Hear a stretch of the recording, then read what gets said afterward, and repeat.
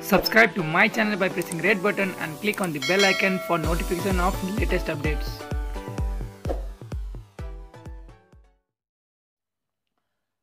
भक्तपुरमा covid उन्नाइस प्रयोगशालामा परीक्षणका क्रममा जिल्लाका दुई नमुना शङ्कास्पद देखिएपछि राष्ट्रिय जनस्वास्थ्य प्रयोगशाला काठमाडौँ पठाइएको छ बिहिबार भरतपुर कोभिड उन्नाइस परीक्षण प्रयोगशालामा गरिएको पिसिआर परीक्षणमा दुईजनाको नमुना शङ्कास्पद देखिएको भरतपुर अस्पतालले जनाएको छ। बुधबार ऱ्यापिड डायग्नोस्टिक टेस्टका क्रममा एक महिलाको शङ्कास्पद नतिजा आएको थियो। उनी र उनका दुई छोरालाई सोही दिन भरतपुर अस्पतालको आइसोलेसनमा राखिएको थियो। उनीहरूमध्ये आमा र एउटा छोराको नमुना पोजिटिभ आएको भक्तपुर अस्पतालले जनाएको छ। उनीहरूलाई अहिले पनि भरतपुर अस्पतालको आइसोलेसनमा राखिएको छ। चैत्र पाँच गते उनीहरू बेलायतबाट हङकङ हुँदै आएका हुन्। निजहरू राप्ती नगरपालिकाका बासिन्दा भएको स्वास्थ्य कार्यालय चिताउनले जानकारी दिएको छ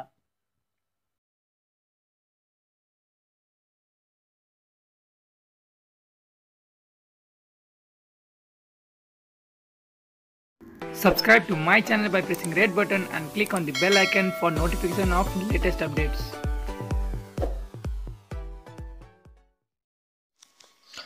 द्रुत परीक्षण किटको प्रयोग गरी भारत तथा तेस्रो मुलुकबाट आएका व्यक्तिहरूमा कोरोना भाइरस कोभिड उन्नाइस सङ्क्रमण परीक्षण सुरु भएसँगै बागमती प्रदेशमा बाह्रजनामा पोजिटिभ देखिएको छ। द्रुत परीक्षण किट अर्थात् ऱ्यापिड डायग्नोस्टिक टेस्ट आरडिटीबाट कोरोना भाइरसको एन्टिबडी परीक्षण गर्दा बागमती प्रदेशको मकवानपुरमा चारजना सहित बाह्रजनामा पोजिटिभ रिपोर्ट आएको हो। मकवानपुरका हेटौँडा उपमहानगरपालिका क्षेत्रमा बिहिबार आरडिटी फिडबाट उन पचास परीक्षण गरिएकोमा चारजनाको रिपोर्ट पोजिटिभ भेटिएको छ। आरडिटी पोजिटिभ रिपोर्ट आएकाहरूलाई हेटौँडा अस्पतालको आइसोलेसन कक्षमा राखिएको हेटौँडा उपमहानगरपालिकाका स्वास्थ्य संयोजक सुरेन्द्र कार्कीले जानकारी दिएका छन्। उनले भने आरडिटी पोजिटिभ रिपोर्ट भेटेकाहरूको स्वाब सङ्कलन गरिएको छ। पिसिआर विधिबाट किटजन्य रोग अनुसन्धान तथा तालिम केन्द्र स्थित कोरोना प्रयोगशालामा परीक्षणपछि कोरोना भाइरस लाग्ने नलाग्ने एकिङ हुन्छ हेटौँडा पन्ध्रमा नौजना र हेटौँडा चार स्थित वासुदेव सभागृहमा चालिसजनाको आरडिटी परीक्षण भएको भारत भएको र भारत घर भई हाल हेटौँडा चारमा बस्दै आएका महिला भारत गएर फर्किएका हेटौँडा दुईका सडसट्ठी वर्षीय पुरुष भारतबाट फर्किएका हेटौँडा पाँचका चौबिस वर्षीय पुरुष र साउदी अरबबाट फर्किएका बत्तिस वर्षीय पुरुषमा आरडिटी पोजिटिभ देखिएको हो। यस्तै आरडिटीबाट कोरोना भाइरसको एन्टिबडी परीक्षण गर्दा मकवानपुर बाहेक प्रदेशका जिल्लाहरूमा आठजनामा पोजिटिभ रिपोर्ट आएको छ। बागमती प्रदेशको सामाजिक विकास मन्त्रालयका अनुसार आरडिटीबाट परीक्षण गर्दा बिहिबार थप एकजनामा पोजिटिभ पाइएको छ। मन्त्रालयका प्रवक्ता एवं बागमती प्रदेश अस्पताल विकास तथा चिकित्सा सेवा निर्देशनालयका निर्देशक डाक्टर पुरुषोत्तम राज सेडाईले नौ सय चौरानब्बेजनामा आरडिटीबाट जाँच भएकोमा काठमाडौँ जिल्लामा एकतिस वर्षीय महिलामा पोजिटिभ देखिएको बताएका छन्। उनले भने इटालीबाट फर्किएका बुढा नीलकण्ठ नगरपालिकाका ती महिलाको पिसिआर विधिबाट परीक्षण हुने क्रममा रहेको छ। कोरोना भाइरसका शङ्कास्पद बिरामी बिरामीहरूको आरडिटी परीक्षण गर्दा धादिङ चितौन काठमाडौँ र काभ्रे प्लान्चोक जिल्लामा गरिएको छ र छजनामा पोजिटिभ पाइएको छ। हालसम्म बागमती प्रदेशका विभिन्न जिल्लामा गरी आरडिटी परीक्षण दुई हजार दुई सय चौन्नजनामा गरिएकोमा पोजिटिभ भेटिएकोमा आठजना मध्ये दुईजनाको स्वाब पिसिआर विधिबाट परीक्षण गर्दा पोजिटिभ पाइएको जनाइएको छ। यो खबर हामीले गोर्खापत्र अनलाइनबाट सावर गरेका हौँ।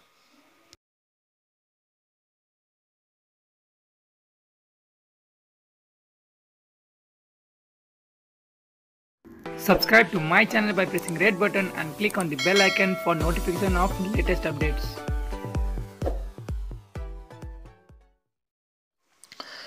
रुसी राष्ट्रपति भ्लादिमिर पुटिन र चिनिया राष्ट्रपति सिजिङपिङ बीच टेलिफोन वार्ता भएको छ दुई देशबीच नेताबीच कोरोना भाइरसको महामारी विरुद्धको लडाइँबारे कुराकानी भएको बताइएको छ चिनिया राष्ट्रिय टेलिभिजन टेलिभिजनले दुई नेताबीच आपसी सहयोगका बारेमा कुराकानी भएको जनाएको छ। दुई नेताबीचको कुराकानीमा चिनिया राष्ट्रपति सी जिङफिङले चीन र रुसले संयुक्त रूपमा कोरोना भाइरसको महामारीलाई राजनीतिकरण गर्ने विषयको विरोध गर्नुपर्नेमा जोड दिएको भनिएको छ। चिनिया टेलिभिजनका अनुसार ती सी जिङफिङले महामारीको राजनीतिकरणले अन्तर्राष्ट्रिय सहयोगलाई फाइदा नपुग्ने बताएको उल्लेख छ।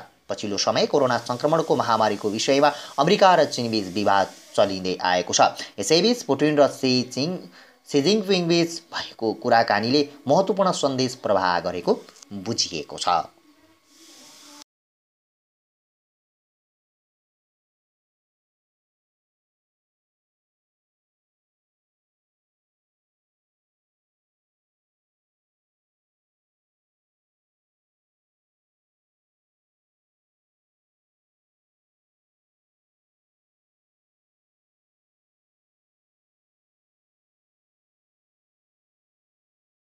Subscribe to my channel by pressing red button and click on the bell icon for notification of latest updates.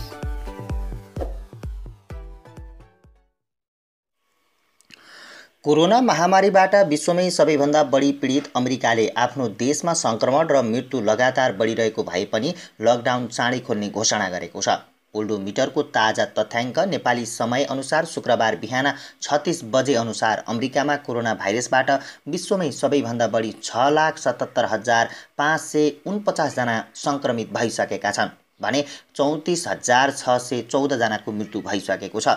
Corona महामारी फैलिन नदिन लागू गरिएको लकडाउनका नियम अत्यन्त अन्त्य गरेर चाँडै देशलाई सामान्य अवस्थामा ल्याउने योजना अमेरिकाले सार्वजनिक गरेको छ। अमेरिकी राष्ट्रपति Donald ट्रम्पले White House corona virus task फोर्सको नियमित ब्रिफिङका क्रममा बिहिबार लकडाउन चाँडै अन्त्य गर्ने घोषणा गरेका हुन्। अहिले अमेरिकाका अधिकतर राज्यमा मानिसलाई घरबाट निस्किन दिइएको छैन। कोरोना भाइरस विरुद्ध सबै अमेरिकी एक भएर लागेको र रोकथामका उपायहरू अवस्था अति खराब हुनबाट रोकेको भन्दै ट्रम्पले लकडाउन दीर्घकालीन उपाय नरहेको बताएका छन्। सामान्य गतिविधि पुनः सञ्चालन गर्ने सम्बन्धी योजना पनि सार्वजनिक गर्दै उनले हरेक राज्यको अवस्था फरक रहेकाले केही राज्यको लकडाउन चाँडै अन्त्य हुने र केहीको भने अझै समय लाग्ने सङ्केत गरेका छन्। यो हप्ताको सुरुमा ट्रम्पले लकडाउन अन्त्य गर्ने अन्तिम अधिकारी गभर्नरसँग नभएर आफूसँग रहेको बताएका थिए। ट्रम्प प्रशासनले लकडाउन खोल्न तीन चरणको योजना सार्वजनिक गरेको छ। पहिलो चरणमा भौतिक दूरी कायम गर्ने दसजना भन्दा बढीको समूह नबनाउने अनावश्यक यात्रा नगर्ने योजना छन्। दोस्रो चरणमा जोखिममा रहेका व्यक्ति पहिलो चरणमा जस्तै भौतिक दूरी कायम गर्ने तथा पचासजना भन्दा बढीको भिड नगर्ने नियम राखिएका छन्। नयाँ सामान्य भनिएको तेस्रो चरणमा जोखिमयुक्त व्यक्ति पनि सामाजिक गतिविधिमा सामेल हुन पाउने तर उनीहरू उनीहरूले भौतिक दूरी भने कायम राख्नुपर्ने ट्रम्प प्रशासनले उल्लेख गरेको छ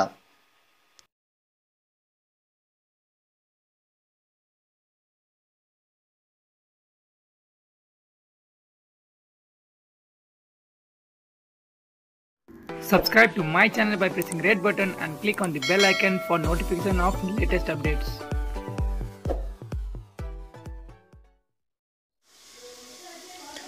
कतारमा रहेका सयौँ नेपाली कामदारलाई त्यहाँका कम्पनीले स्वेच्छाचारी ढङ्गमा निष्कासन गरिदिएको खुलासा भएको छ। उनीहरूलाई कोरोना भाइरसको परीक्षण गर्न भन्दै कतारी अधिकारीहरूले नियन्त्रणमा लिई निष्कासन गरिएको थियो।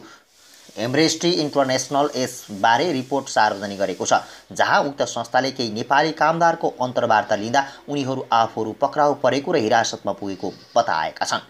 परीक्षणका लागि भनेर लगिए पनि उनीहरूलाई हिरासतमा लगिएको ती कामदारले एम्ब्रेस्टी इन्टरनेसनलसँग बताएका छन्। कतिपय कामदारलाई त आवासबाटै पक्राउ गरिएको थियो। त्यस क्रममा उनीहरूको साथबाट मोबाइल र कागजात समेत जफत गरिएको उनीहरूले बताएका थिए। साथै फोटो खिचेर औँठा समेत लिन लगाइएको थियो।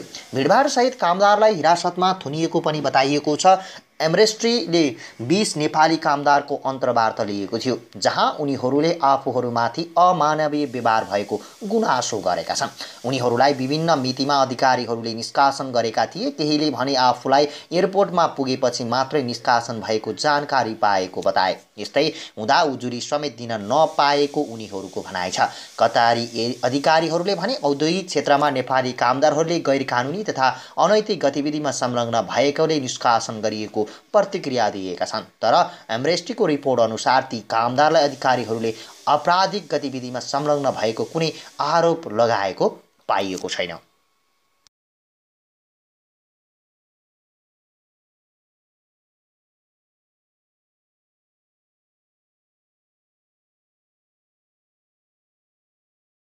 Subscribe to my channel by pressing red button and click on the bell icon for notification of latest updates. खाडी राष्ट्रमा कोरोना भाइरसको सङ्क्रमण बढेपछि ती मुलुकले फरक फरक निर्णय लिइरहँदा कामदार पठाउने नेपाल जस्ता मुलुकको नेतृत्व अन्यलमा परेका छन्। करिब तिन लाख नेपाली रहेका युनाइटेड अरब इमिरेट्स युएई र साठी हजारभन्दा बढी नेपाली कामदार रहेको कुवेतको घोषणाले नेपाल मात्र होइन अन्य मुलुक पनि समस्यामा परेका हुन्। Saudi Arabia Qatar UAE Bahrain Oman र कुवेतमा यति बेला करिब बिस हजार सङ्क्रमित रहेको तथ्याङ्क आइरहँदा उनीहरू आफ्ना नागरिक नेपालीको सुरक्षाका लागि अनेक निर्णय लिन थालेका छन्। यस्तो निर्णयले कैयन नेपालीले रोजगारी गुमाएका छन् विधामा रहेकाहरू घर फर्कन पाएका छैनन् घुम्न पुगेकाहरू त्यहीँ अड्किएका छन्। अधिकांश कम्पनी बन्द भएकाले नेपालीहरू कोठामै बसिरहेको र कतिपयले त जागिर समेत गुमेकाले हातमुख जोड्न गाह्रो भएको छ।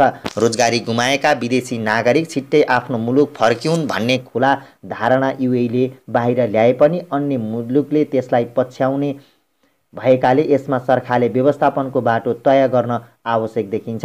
युएले बेरोजगार भएर घर फर्कन चाहने आफ्ना नागरिकहरूलाई फिर्ता लैजान कामदार पठाउने मुलुकलाई आग्रह गरेको छ। त्यहाँ रहेका नेपाली पनि स्वदेश फर्किन पाऊँ भनिरहेका छन्। युए सरकारको निर्णय सञ्चार माध्यममा आएपछि सरकार अन्यलमा परेको आजको अन्नपूर्ण पोस्टमा खबर रहेको छ। अधिकांश कम्पनी बन्द भएकाले नेपालीहरू कोठामै बसिरहेको र कतिपयले त जागिर समेत गुमेकाले हातमुख जोड्न गाह्रो भएको छ। रोजगारी गुमाएका विदेशी नागरिक छिट्टै आफ्ना मुलुक फर्किउन् भन्ने खुला धारणा युएले बाहिर ल्याए पनि अन्य मुलुकले त्यसलाई पछ्याउने भएकाले यसमा सरकारले व्यवस्थापनको बाटो तय गर्न आवश्यक देखिन्छ। युएले रोजगार भएका बेरोजगार भएका र घर फर्कन चाहने आफ्ना नागरिकलाई फिर्ता लैजान कामदार पठाउने मुलुकलाई आग्रह गरेको छ। तर त्यहाँ रहेका नेपाली पनि स्वदेश फर्कन पाऊँ भनिरहेका छन्। युए सरकारको निर्णय सञ्चार माध्यममा आएपछि सरकार अन्यलमा परेको छ। यद्यपि सरकारलाई भने कुटनीतिक च्यानल मार्फत त्यो प्रकारको कुनै जानकारी नआएको परराष्ट्र मन्त्रालयले जनाएको छ। हामी हाम्रा नागरिकबारे गम्भीर छौँ छलफल भइरहेका छन्। सरकार प्रमुख र परराष्ट्र मन्त्रीले पनि सम्बन्धित मुलुकमा कुरा गरिरहनु भएको छ। परराष्ट्रका प्रवक्ता भरत राज पौडेलले भने युए सरकारको निर्णयबारे हामीलाई पत्रचार भएको छैन। यसबारे बुझ्ने काम भइरहेको छ। खाडीमा सबैभन्दा बढी नेपाली साउदी अरेबिया छन्। त्यसपछि कतार युए कुवेत बराहिन र ओमानमा छन्। त्यसबाहेक पश्चिम एसियामा अन्य दूतावास इजिप्ट अन्तर्गत नै अठार मुलुक लेबलान जोर्डन अफ्रिकी मुलुक छन्। ती सबै मुलुकमा नेपाली कामदारहरू कोरोना सङ्क्रमित रहेका छन्। त्यहाँ पनि सबै मुलुकमा चालिस हजार हाराहारीमा नेपाली छन्। त्यस्तै इजरायलमा पनि साढे तिन हजार नेपाली छन् भने उनीहरू वृद्धहरूलाई स्याहार सुसार गर्छन् जसकारण जोखिम उत्तिकै छ। इजरायलले साइप्रस समेत हेर्ने हुनाले साइप्रसका नेपाली पनि स्वदेश फर्कन खोजेका छन्। नेपालले उनीहरूलाई त्यहाँको सरकारसँग समन्वय गरेर व्यवस्थित ढङ्गले राख्न नसक्ने र फर्किन पनि नदिने अवस्था आए ती नेपाली राज्यविहीन झैँ अनुभव गर्ने अधिकारी बताउँछन्। पश्चिमी एसियाका सबै मुलुकमा करिब पन्ध्र लाख नेपाली छन्। ती सबैमा करिब एक सय नेपाली सङ्क्रमित भइसकेका छन्। यसैबीच सर्वोच्च अदालतले पनि जोखिममा रहेका नेपालीलाई उद्धार गर्न अन्तरिम आदेश दिएको छ। वैदेशिक रोजगारीमा रहेर अत्यन्तै जोखिममा रहेका नेपाली नागरिकको अनियन्त्रित र अव्यवस्थित नेपाल प्रवेशबाट हुने थप जोखिमबाट संरक्षण गर्न नागरिकको व्यक्तिगत अधिकार तथा बहुसङ्ख्यक जनताको जीवन स्वास्थ्य र सुरक्षाको हितलाई समेत सन्तुलित तरिकाले संरक्षण गर्नुपर्छ आदेशमा भनिएको छ। सूक्ष्म गम्भीर एवं संवेदनशील तरिकाले बिना विभेद भाव बिना स्वेच्छाचारी विवेकपूर्ण तरिकाले नियम र नियन्त्रणको शर्त बन्देजसहित फिर्ता ल्याउने उद्धारका लागि आवश्यक प्रशासनिक आर्थिक व्यवस्थापकीय पहल गर्न सर्वोच्चले अन्तरिम आदेश जारी गरेको छ। कतिपय मुलुकले घरमा काम गर्न राखेका नेपालीलाई विद्यालय वा अन्य सार्वजनिक स्थानमा राख्न थालिसकेका छन्। केहीलाई कामबाट निकालेर घर जान भनिसकेको छ। केहीलाई आधा पारिश्रमिक दिएर त्यसै राखिएको छ। ती मुलुक हेर्ने दूतावास प्रतिनिधि पनि अलमलमा छन्। बाहिर भेट्न जान सहज छैन। उनीहरूलाई पनि टेलिफोनमा सबै काम सहज हुँदैन। प्रयास गर्दा पनि दूतावास अधिकारीहरू नेपालीको प्रत्यक्ष सम्पर्कमा पुग्न सकेका छैनन्। नेपालले सम्पर्क गरेर दुःख पोख्दा पनि निश्चित दायरा रहेको भन्दै सुरक्षित रहने आश्वासन बाहेक अरू पाउन सकेका छैनन्। इजिप्ट कतार साउदी ओमनमा खासै अलमल नदेखिए पनि इजरायल युएई कुवेत र बराइनमा अलमल देखिएकाले यसो गर त्यसो गर भनेर परराष्ट्रका अधिकारीहरूले निर्देशन दिइरहेका छन्। युएईले आफ्ना नागरिकलाई फिर्ता लैजान गरेको आग्रह व्यवस्था गरेको खण्डमा श्रम सम्झौता रद्द गर्ने र ती मुलुकलाई वैदेशिक रोजगारीको कालो सूचीमा राख्ने निर्णय नै सरकारले झन गम्भीर बनाएको छ। कुवेतले भने अवैध नेपाली लगातार विदेशलाई यो समय समयमा फर्कन चाहेमा सहज ढङ्गले जान दिने सूचना जारी गरेपछि त्यहाँका नेपाली स्वदेश फर्कन खोजेका छन्। यी दुई सरकारले लिएको निर्णयबारे नेतृत्व तहमा खासै छलफल भएको छैन। हामी अध्ययन गर्दैछौँ छलफलमै छौँ परराष्ट्र अधिकारीले भने नेतृत्वले कुटनीतिक पत्र नआएको भने पनि उनीहरूको धारणा सार्वजनिक भएकाले निर्दो मुलुक नै समस्यामा पर्ने हो। त्यहाँ भारतीय नागरिक धेरै भए पनि उसले आफ्ना नागरिक अहिले फिर्ता गर्न नसक्ने जानकारी दिइसकेको छ। यो विषयमा युएका राजदूत कृष्ण प्रसाद ढकालसँग जिज्ञासा राख्दा उनले कुनै जवाफ दिएनन्। यद्यपि उनले परराष्ट्रमा पठाएको जानकारीमा भने आफूहरूसँग नेपाली नियमित सम्पर्कमा रहने र बुझ्ने काम भइरहेको जनाएका छन्। ढकालले एघारजनाको जानकारी पठाए पनि चालिसभन्दा बढी नेपाली सङ्क्रमित भएको गैर आवासीय नेपालीले जनाएका छन्। त्यस्तै बराइनमा बाइस कुवेतमा एघार र साउदीमा पाँचजना नेपाली सङ्क्रमित भएको जानकारी परराष्ट्रले पाएको छ। कतिपय नेपालीले उपचारमा हेल च्याक्राई भएको गुनासो पनि पठाएका छन्। परराष्ट्र मन्त्री प्रदीप ग्यावालीले युरोपी युरोपेली मुलुकका नेपालीबारे जानकारी लिएका छन्। उनले बिहिबार नेपाली राजदूतहरूसँग टेलिफोन सम्पर्क गरी कोरोना सङ्क्रमणले पारेको प्रभाव र दूतावासले खेल्नुपर्ने दूतावासले खेल्नुपर्ने भूमिकाबारे छुट्टा छुट्टै छलफल गरेका छन्। नेपालीहरूलाई भिसा वा अन्य कुनै समस्या भए तत्काल त्यसबारे ध्यान दिन ग्यावालीले निर्देशन दिएको परराष्ट्रले जनाएको छ। उनले राष्ट्रसङ्घीय नियोग Geneva Belgium France Germany Denmark Russia Australia बेलायत र स्पेनका साथै अस्ट्रेलिया र थाइल्यान्डका राजदूतहरूसँग टेलिफोन संवाद गरेका हुन्। नेपालीको गुनासो सम्बोधन गर्न जति बेला भए पनि हटलाइन तयार रहन भनेका छन्। यसैबीच भिसा लिइसकेका तर कोरोना सङ्क्रमणले नेपाल आउन नसकेका विदेशीको भिसा थपिने भएको छ। जनवरी एक तारिकदेखि मार्च एकभित्र भिसा लिइसकेकाहरूको म्याद छ महिना थपेर प्रवेश गर्न दिने सरकारले निर्णय गरेको छ।